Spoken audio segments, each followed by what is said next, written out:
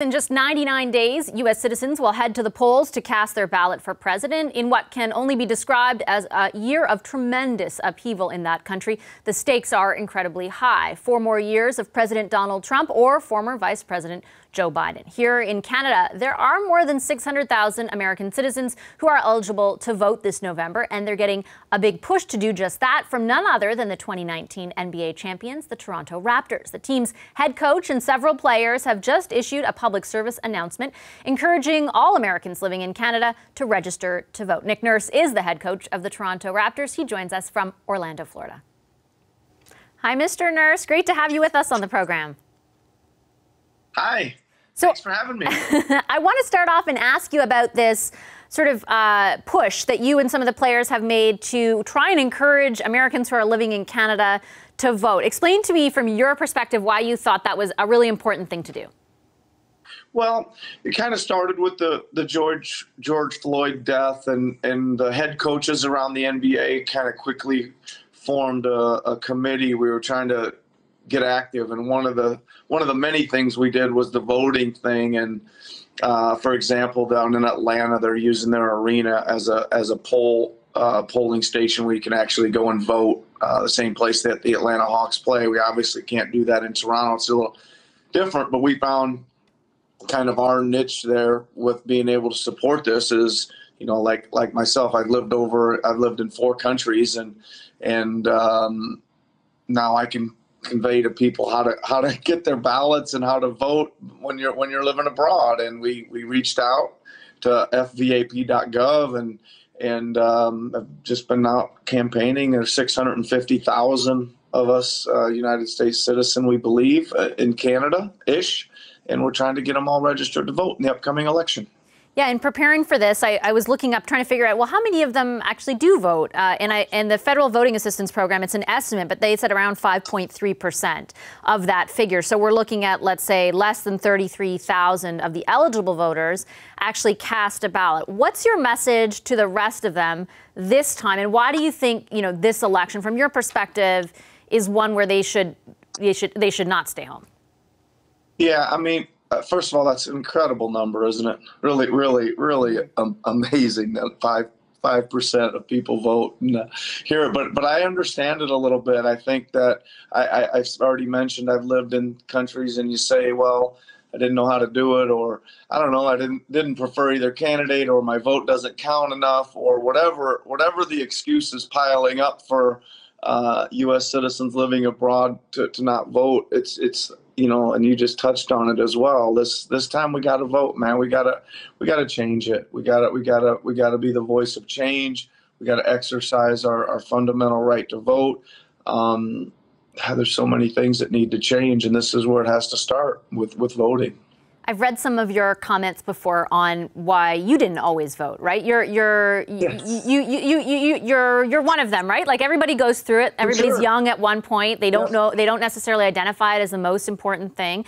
What can what kind of light can you shed from your perspective on how you felt it at those times and why it wasn't a priority and what's shifted for you now? Well, um, I mentioned some of the things before, but but a lot of you know, again, you could I could I could pile up. I just gave you three excuses. I could probably give you a few more that I, I don't think my, my vote my vote will be counted fairly. Uh, I'll get a lot. You know, it'll you know there's it'll be some um, you know misappropriated voting or whatever it is. But it, w- whatever those excuses are is is um, I, again I'm I'm sitting here saying that we cannot have those excuses and make them anymore and, and more than happy to try to push to help people realize that it is very simple to do it. And then when it when it comes time to do it to do it. And um, listen I, I, again it's it's um, there's a lot going on um, in a lot of countries around the world but there's a lot going on in the United States and we need we need to change, get get change in there and we can do that by voting What's your sense of, I guess, among people you're talking to, players or other others, other citizens that you're encouraging to vote? Do you have a sense that this time will be more? Like, do you feel the urgency more? Do you think people feel it more? It's different. Yeah, I, I think it's much different. I would I would imagine that the the turnout this time around is going to be probably record numbers. And when you say, when you talk about change, are you, do you want people to uh, just vote, period, or are you uh, encouraging them to vote one way or the other?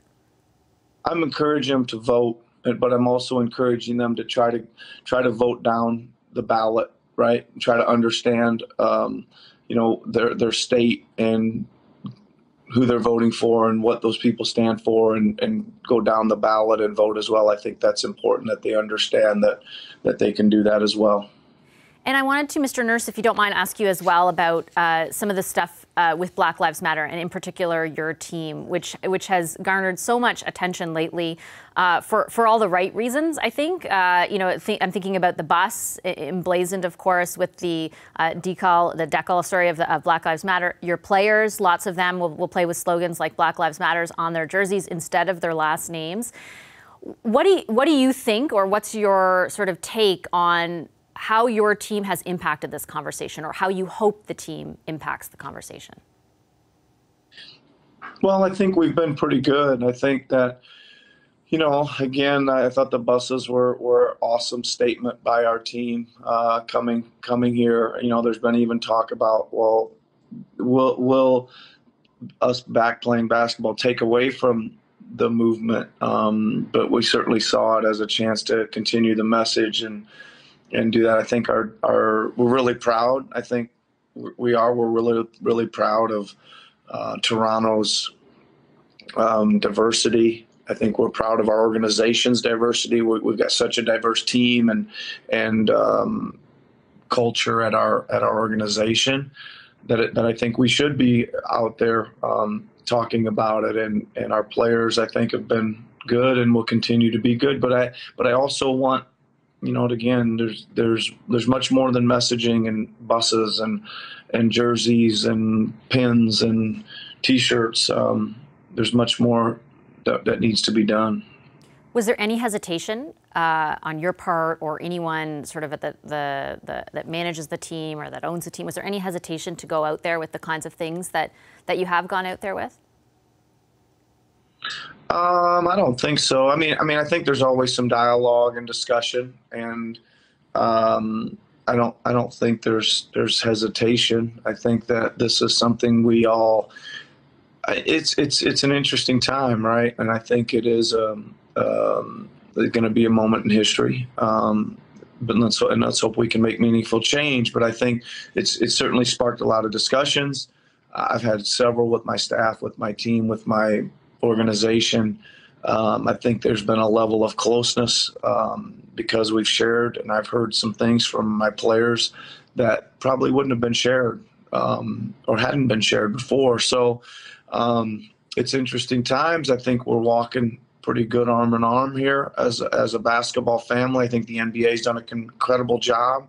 I think uh, our organization's done great, and I'm really proud of the players just for um, you know how they've handled things so far. There, there has been a lot of positive reaction to, to the way in which uh, the league in particular has handled this. I just wanted to ask you one uh, final question on one of the points that has come forward from uh, Norman Powell. He's been vo- uh, pretty vocal about his anger around the jersey policy.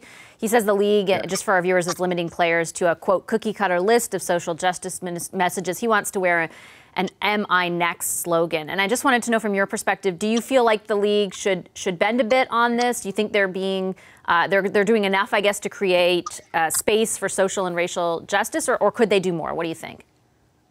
Well, I think that. Um, again, I, I, totally respect uh, Norman's viewpoint on this, and you know, I I just think that the players um, association, you know, which which Kyle Lowry, one of our other players, works really closely with Chris Paul. You know, so, some some of the players around the league, uh, in conjunction with the league, came up with this kind of list. I think that it started really long, and and and and they just wanted to kind of get it um, a little more concise. And Norman's right; it's a little bit cooker cookie cutter ish, if that's a word, cookie cutter ish.